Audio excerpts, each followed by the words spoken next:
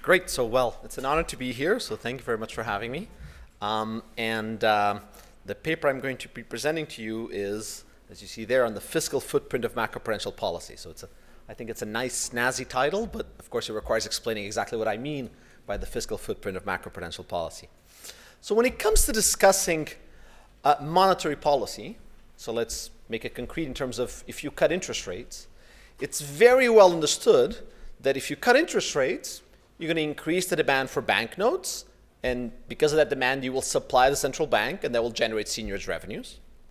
It is very well understood that if you cut interest rates unexpectedly, that may create some unexpected inflation that will lower the real value of the debt. It is very well understood that if you cut interest rates and the, and the government has to roll over its debt right now, it will be easier to do so since the price of government bonds are higher. And finally, that insofar as there is a Phillips curve, that if you cut interest rates and you generate unexpected inflation, you'll also raise economic activity and tax revenues. In other words, it's very clear, or at least very well understood among people in this room, that monetary policy has a fiscal footprint. Um, indeed, there's a whole literature, and even Francesco Bianchi's paper yesterday was one illustration of that literature, that talks about the problems of fiscal dominance, that is, to what extent inflation control sometimes gets sacrificed and the fiscal footprint becomes not a side result of monetary policy, but rather the main focus of monetary policy. Okay? Moreover, in the study of Ramsey monetary and fiscal policy, it is a fundamental result in it that you want to have volatile and usually serially uncorrelated inflation in order to precisely generate some of this fiscal footprint and be able in doing so to smooth taxation. Although the response to that in the world has been that given a lack of commitment by the central bank, and Ken Rogoff already mentioned some of these commitment problems um, relating to his work in 1985, that sometimes having an independent or maybe conservative or a central bank that has intermediate targets may be a better outcome than to exploit that fiscal footprint.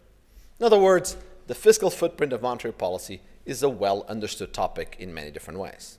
What I want to ask in this paper is what about macroprudential policy? Central banks nowadays and over the last 10 years have become increasingly in charge of macroprudential policy. And I want to ask precisely the same questions that have been convincingly answered in the monetary policy literature in the last 30 years.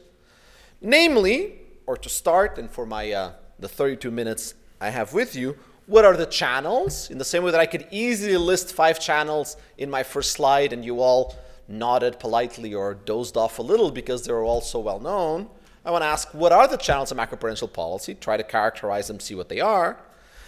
To understand the interact, to what extent can we have an interaction between fiscal and financial crisis to the point where there will be fiscal dominance over macroprudential policy as opposed to fiscal dominance over monetary policy, or not as opposed, but as a complement perhaps. In particular, to what extent can we have, in the celebrated words of Tom Sargent, and Neil Wallace, an unpleasant macroprudential arithmetics where macroprudential policy becomes the dominant force. Um, so those are the questions that I want to ask. These are questions that talk to some policy debates, so let me at least refer some of the applications, I think, of some of the issues that I will raise. Recently, during the run-up to the Indian elections, there was a lot of pressure and a lot of discussion in Indian media on how the government was putting a lot of pressure on the RBI, the Reserve Bank of India, to relax lending requirements produce a bit of a credit boom and help get reelected. Nothing different from those of us who have read exactly Alesina, Tabellini, and all these many papers on political business cycles of the late 80s. A second policy debate is to what extent should the macro regulator be inside the central bank or in the treasury? Countries differ widely in terms of this. Um, in some countries, macroprudential is the, ex the, exclusive responsibility of the central bank. In some, they're exclusively an independent agency. Well, understanding to what extent they have a very big fiscal footprint should at least guide some of that answer. Like Ken Rogoff was saying just a couple of hours ago or an hour ago, um, of course, monetary policy has a fiscal footprint, but we have, for the arguments that I put in the previous slide, thought that the monetary dominance is probably the best regime. And as a result, we've placed monetary policy independently from the fiscal authority. When it comes, if the fiscal footprint becomes very, very large, then central bank independence is a charge and we should put it in the treasury. What about macroprudential policy? Should it belong, if it has a large fiscal footprint, it should be in the treasury. If it's small relative to others, maybe it should be in the central bank. And finally, and again relating to this question, if we have a central bank that's independent, like the Bank of England with a financial um, uh, policy committee, yes, with the macroprudential financial policy committee, to what extent are we compromising its independence precisely because it has a very large fiscal footprint, which means that this, this, this committee, there will be a big temptation to override it. So those are the questions that I want to answer. That's the motivation in different ways. Now, these are very, very big questions, so this is at best a, a modest contribution to these debates. So let me tell you what I will try to do in this paper. In this paper, I'm going to focus on two things. First, and I'm going to restrict them, and you're totally fine in the questions that tell me, oh, but I think it would be more interesting to do other things. But these are the ones I'm going to do. First, I'm going to restrict on the policy tool being the amount of government bonds that the macroprudential regulator forces banks to hold. I'm going to call that beta, and beta will be, I think, in every slide. So that is going to be the key policy tool. Strictly speaking, you could think about these as liquidity requirements or more strictly even reserve requirements if you extend government liabilities to include uh, reserves of the central bank like Ken was mentioning earlier. Okay? Speaking, you think about these as being the two macro tools that I'm going to be addressing directly. Now, more generally though, um, most macroprudential policies, and as you many of you know, there's a wide variety of them, tend to have an effect of increasing the demand that banks have for safety because they are um, designed to increase the safety of those banks. In doing so, you can think of beta as a proxy variable for a series of these policies through this dimension of to what extent they increase or change or lower beta. Moreover, and thirdly, for the question that I want to ask, that feature, forcing banks to hold more government bonds or less, is the one that, historically, is often the one where the independence gets lost, where the fiscal concerns override those of the central bank. And so that's why I thought this was a good place to start. Second focus, my focus is going to be on the fiscal burden, that is, on the resources that the governments raise, and to what extent does macroprudential policy increase that burden, has a positive footprint, steps on the burden, or has a negative footprint, that is, it releases that burden, if you want. Okay? You have a positive if you tighten the government budget constraint. There are a lot of other, if you want, fiscal implications of macroprudential policy. For instance, there's a very wide, large macroprudential literature that thinks about Pigouvian taxes. Enrique Mendoza, for instance, has worked on some of this.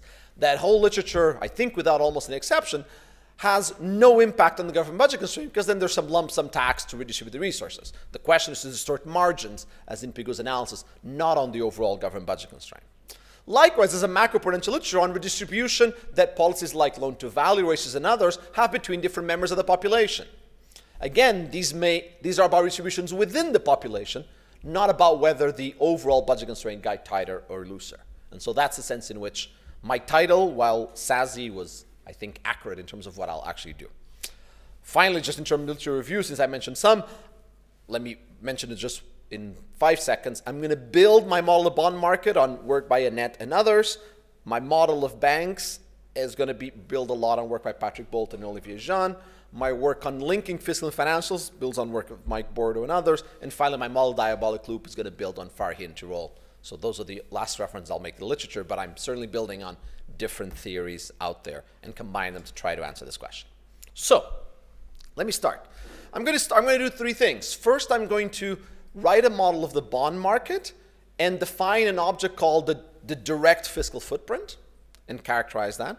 Then I'm going to write a model of general equilibrium, if you want, or of financial markets, and I'm going to define what I'm going to call an indirect fiscal footprint. And third, I'm going to apply this to different circumstances, different combinations of financial fiscal conflicts to try and learn how these channels reveal themselves differently.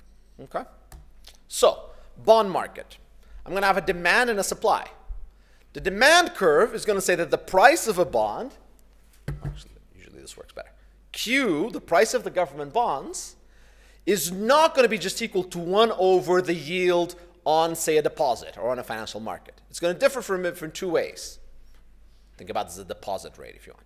First, there could be default. Delta is going to be the payment. If the face value of bond is 1, delta is what share of 1 gets paid. Okay? And so that would lower the price of the bond or increase its yield relative to, the, the to a shadow interest rate set by the central bank. Second, there's going to be a convenience, if you want, uh, yield or a, um, some utility that arises from holding bonds that is positive but declining. That is, if you want that the price of government bonds is going to exceed what you would get from a simple arbitrage relation because these bonds are providing some service to you. Now, one can write a problem uh, to justify this, but I'll just, but the problem is really just justifying what I've told you in words. So let's just focus on that, okay? And this builds, again, Annette has done quite a bit of work on measuring these different functions and what, how they look like.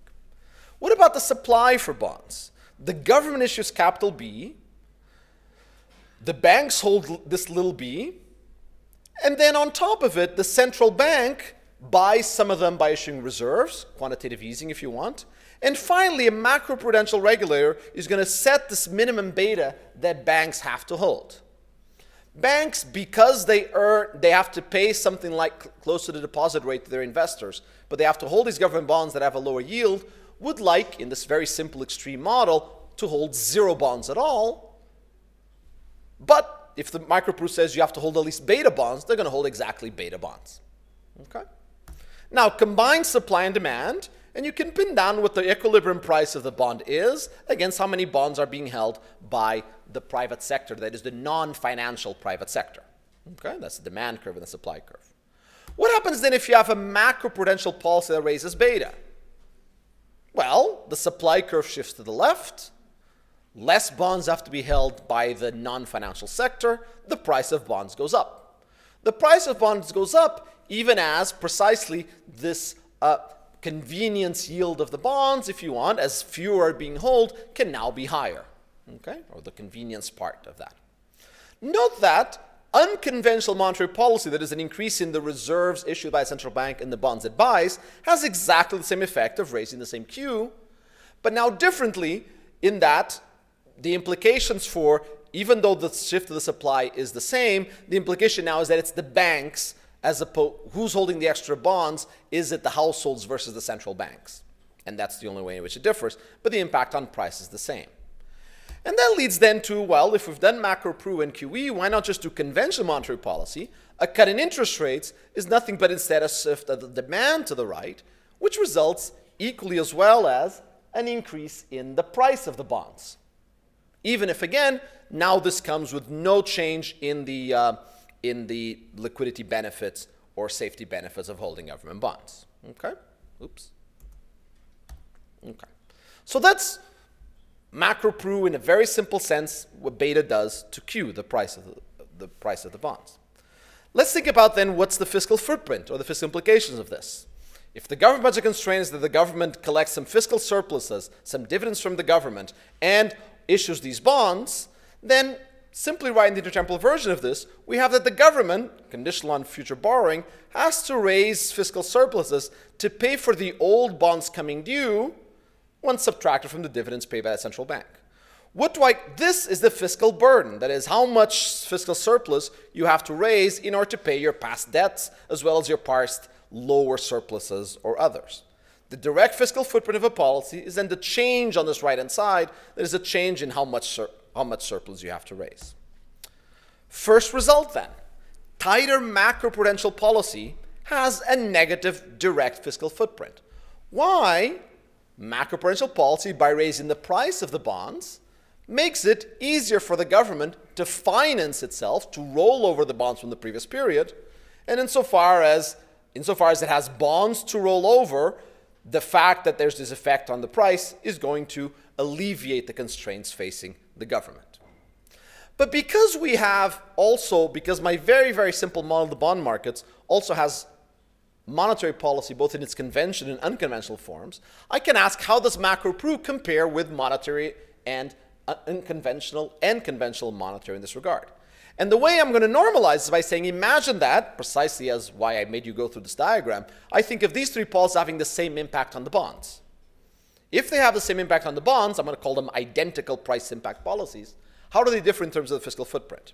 And the answer is they all have the exact same effect on the rollover of the debt, but on top of it, conventional monetary policy also has an extra negative fiscal footprint because it generates inflation that inflates away some of the debt. Therefore, conventional monetary policy always has a bigger direct fiscal footprint than what macropru does. Unconventional monetary policy, on the other hand, is going to affect the liquidity premium between reserves opposed to government bonds. Maybe that's positive, maybe that's negative. Likely it's very small. And is going to have an effect insofar as if the central bank is holding the bonds and the bonds default, this is going to um, have an impact on the government budget constraint because the government is going to receive less dividends from the central bank. Either way, even though these are different, the conclusion is that the effect of them, how much can you inflate away the debt, how much is the change in relative liquidity premium, and how much is the effect of unexpected default, are all likely relatively small, so that in terms of direct fiscal footprint, all three policies are likely very small, although conventional monetary policy is the one that unambiguously dominates the other two when it comes to creating a fiscal footprint, which perhaps may be why in fiscal crisis, as we well know from the work of Phillip Cagan, 70 years ago and, and many others, it's often the first line of defense when do fiscal dominance steps in, and as in, say, uh, Francesco's work yesterday. Second point, let me write, let me, let me build up the model the bond market to put in a model general equilibrium and talk about the indirect fiscal footprint. So I'm going to think about a model in which, let me tell you a little bit of the, of the, of the feature of the model. There's going to be some entrepreneurs that have ideas, they'd like to fund them. But they have no capital, so they have to go and raise capital. If I raise capital today to produce tomorrow, that has some cost. There's some amount of capital I need to raise that is profitable. The economy would like to do this. We'd like to do all this financing ex ante through regular investment, finance today, produce tomorrow. Because of financial frictions, which I'll describe soon, not all entrepreneurs get financed today. If we enter tomorrow, that is the date of production, we still have a chance to finance production. It's just that at that point, the cost of doing so through what I'm going to call make do capital is higher. So if total production, in terms of the setup costs, are such that we end up funding these number of firms, the first firms were funded one period before, ex ante, at a low cost. The other ones are funded ex post. Okay? What that's going to generate is that there's a demand for capital both ex ante and ex post. Ex ante, we have banks or bankers whose great skill is they're able to monitor entrepreneurs and collect payment. They have some net worth and they collect deposits in order to fund both their investment, their credit in these firms, as well as how many bonds the, the macroprudential regulator forced them to hold. The financial constraint is the very classic, I don't even know who invented it first, but if you've read Kiyotaki, Gertler, Moore type papers, you've seen this a million times which is that maybe the banks can run away with their share of the loans, some share 1 minus gamma, because of that. But if they stay, they have to pay the deposits, but they can keep the bonds that could get seized as well as all of the residual. This is going to imply essentially a leverage constraint on the banks in terms of how many deposits they can raise. But there's then a third agent, and these I'm going to call them financiers for lack of a better word. They had some net worth, so the banks wanted to finance everything in pure T, and this regular investment is cheaper. But there were these financiers that couldn't quite find, couldn't quite, they couldn't quite get the modern technology to make loans, so they reached the ex post period and they're stuck with this capital.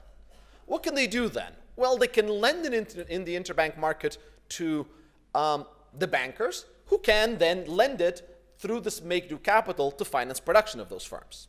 Okay? The friction there is, though, that this requires posting collateral, posting margin. For a financier to lend to a bank, he needs to post margin. And this is what generates a demand for the bonds by these banks. The banks need to hold bonds so that in the next period they're able to borrow from the financiers and finance make do capital. Okay? However, there is a moral hazard in this problem. And the moral hazard is that if the banks did not hold enough bonds to finance the capital, the efficient level of capital, then because that is socially optimal, the government will step in and bail out. That is, it will su sustain the efficient level of capital, and cover any difference between that and the amount of interbank lending that happens. Okay? As a result, and because the banks really love making regular investment, which is more profitable, they would like to hold zero bonds, reach the next period, and then say the interbank market is collapsing, it's crashing, please government come and bail us out so that we can keep the interbank market going and make new investment. Okay? So all I'm trying to do in this model is to generate both a demand for the government bonds, and especially a moral hazard problem such that the banks don't want to be too risky, they want to be bailed out ex post. Okay, and I've done it in a fairly stark and extreme way. Now, what are the tax revenues of the of in this economy? Well, the government, since the only real decision here is whether to invest or not, I'm going to tax that decision. That's the only real decision here. I'm going to tax the regular investors or tax the make-do investors in terms of their profit. I'm going to allow to expense their investment costs. The bailouts I've already defined. So what's primary surplus? Revenues minus taxes, minus I'm going to allow for some exogenous government purchases. What's the indirect fiscal footprint? Essentially, it's the term that I was missing from the government budget constraint, which is if I control a tax rate, a tau, if you want, here, then to what extent does the tax base or the bailout cost change, and in doing so, force me to raise the taxes? So those are not directly, that is, these are the effects on the fiscal surplus itself.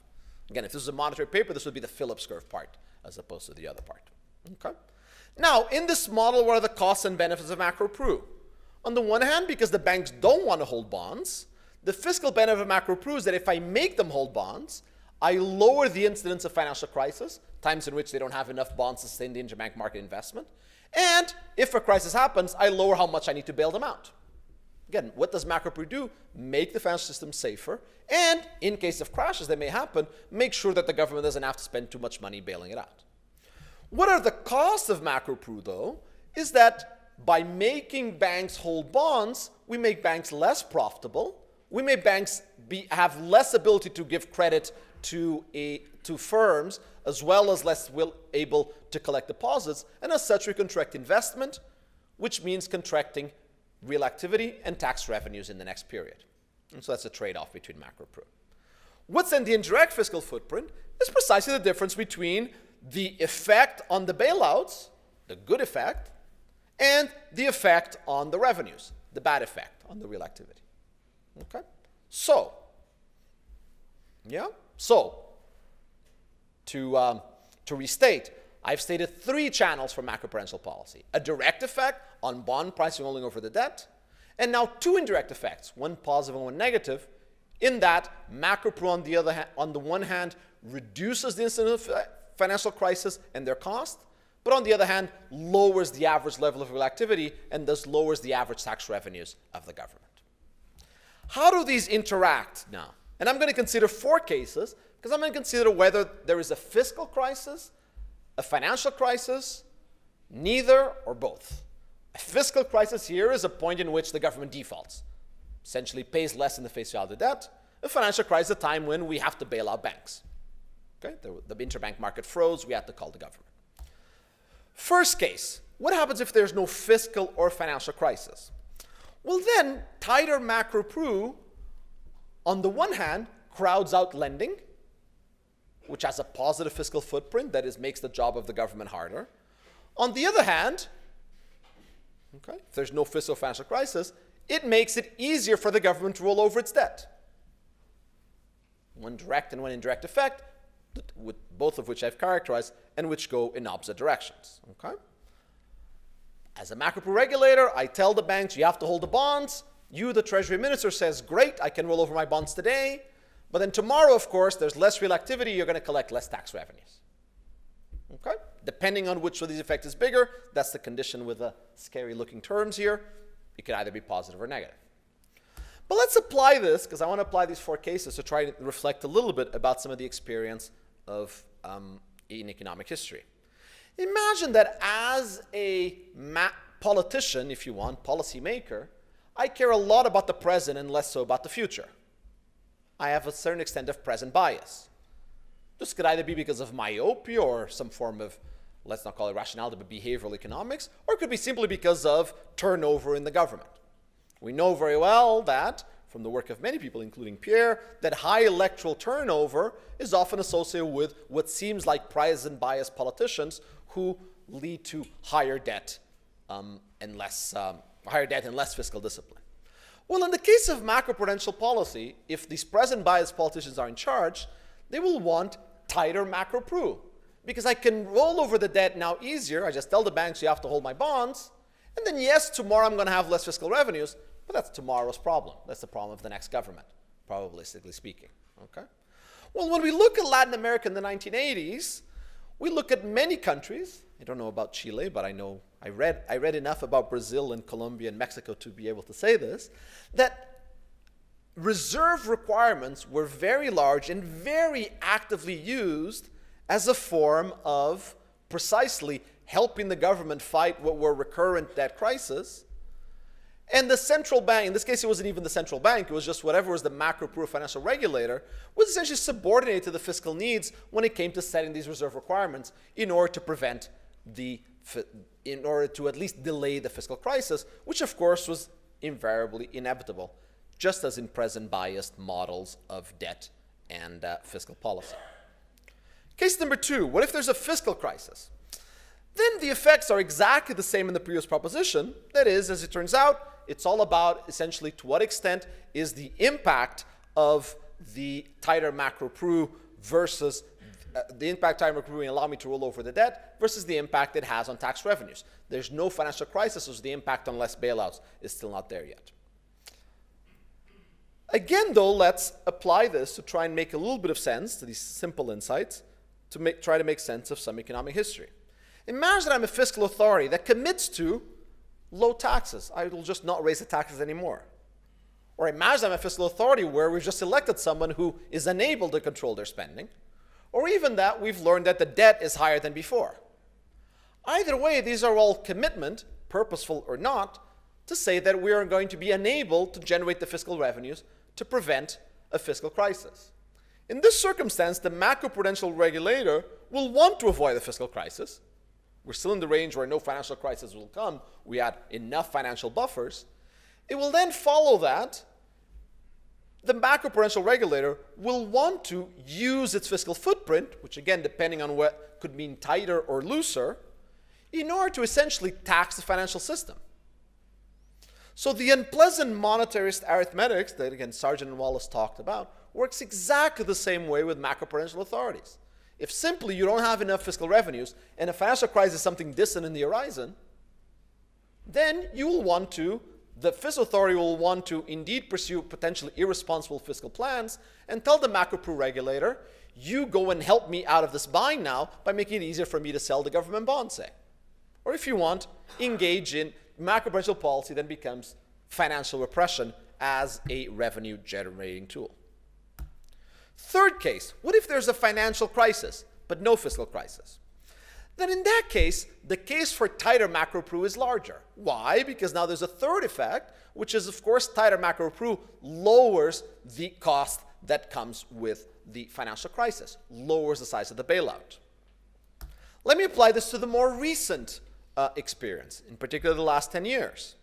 Following the financial crisis, almost every financial center and uh, almost every financial center in the world has had tighter macroprudential policies and equally important macroprudential authorities arising that are independent from the treasury either because of macroprudential powers being given to central banks or because of new institutions being set up.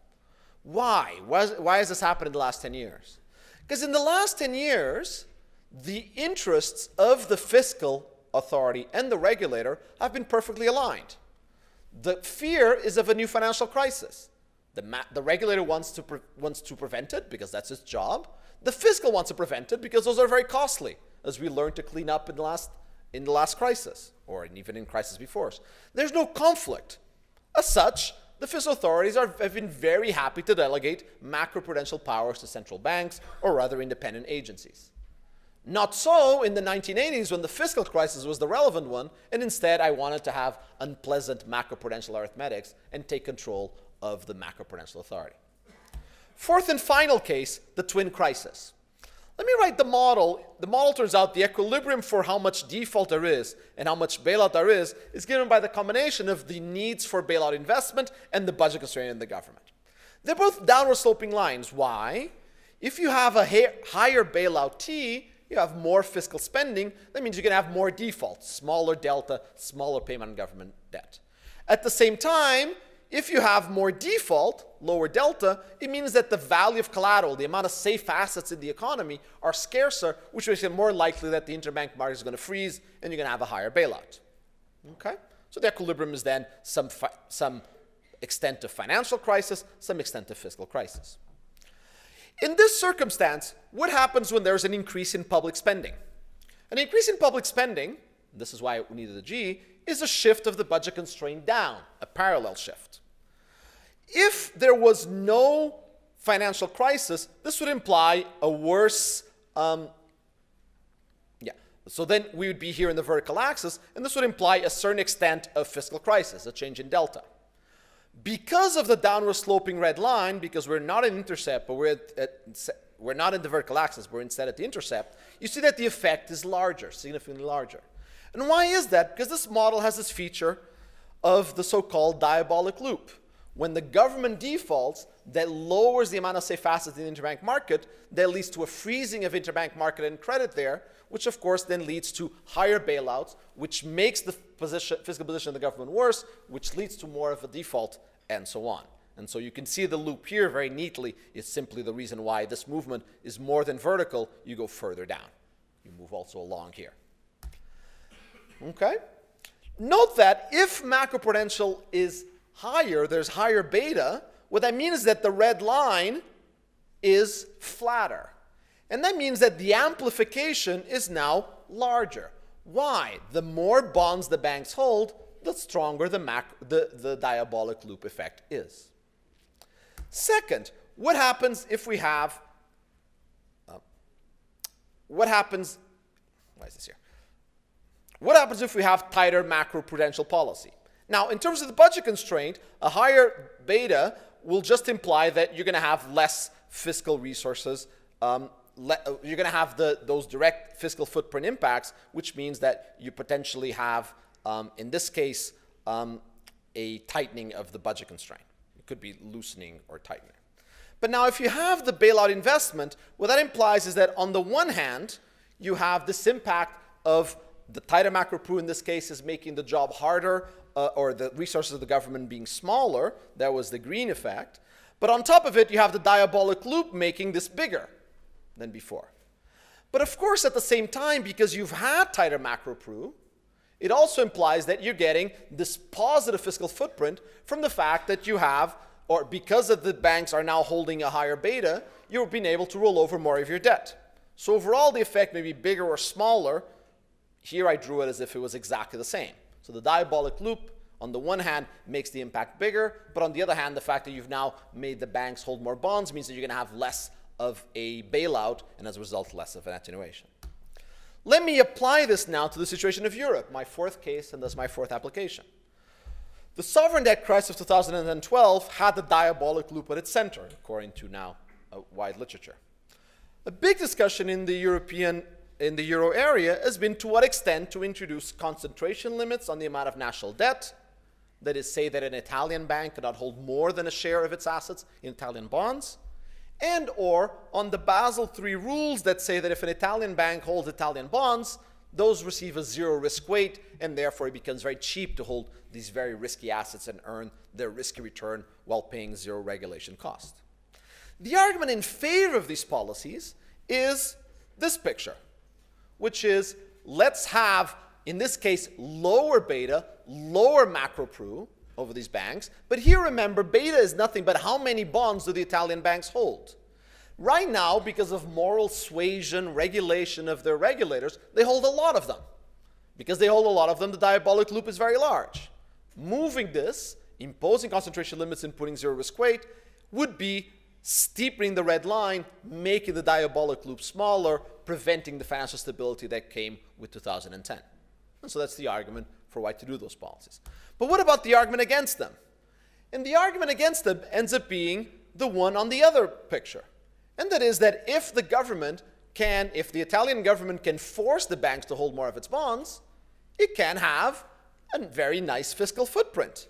I can use my or moral suasion to fill my fiscal shortfalls. I can take advantage of macroprudential and pleasant arithmetics to, if I'm in Italy, prevent potential default because I can just use that fiscal footprint. And so the model neatly captures this discussion as well. So in my last 53 seconds, let me summarize what I, the points I tried to make in this paper. I wanted to start thinking about the fiscal footprint of macroprudential policy to better understand its independence, its role in terms of institutional design, even in terms of where it should be placed. To do so, I wrote a very simple model because I just want, I wanted to highlight some channels and their interaction.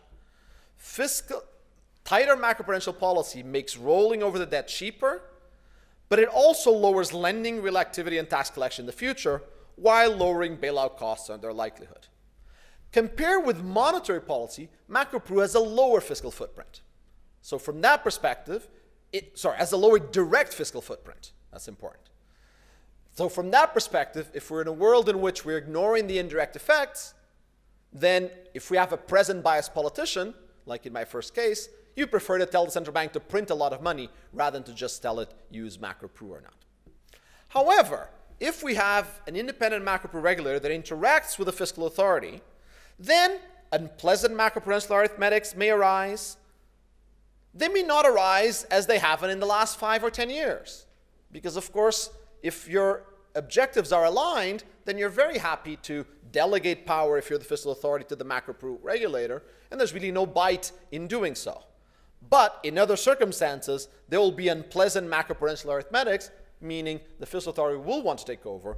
And moreover, if you have the diabolic loop at play, if the interaction between financial and fiscal crises are important, then you end up with the fact that macroprudential policy may um, or the macroprudential regulator may want to lower the volatility that it comes associated with crisis, while the fiscal authority wants instead to have access to, a, to an easy way to tax the banks in order to prevent a crisis in the first place. Thank you.